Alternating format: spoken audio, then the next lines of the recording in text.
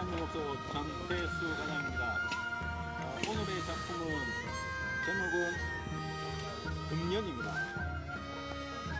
그 금년을 어, 생각하게 된 것은 올해 병신년에 분단땀을 씹어서 금년을 해서 장수하시라고 이 작품을 만들었습니다.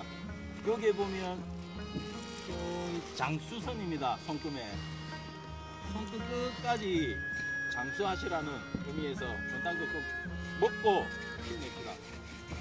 파이팅!